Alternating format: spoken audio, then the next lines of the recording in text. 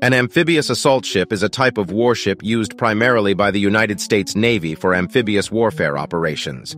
These ships are designed to transport and deploy troops, equipment, and supplies in support of amphibious operations, which typically involve a combination of naval, ground, and air forces.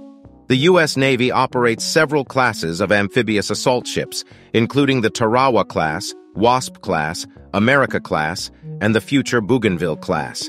These ships vary in size, capability, and mission profile, but all share the common ability to launch and recover a variety of aircraft, including helicopters, tiltrotors, and fixed-wing aircraft.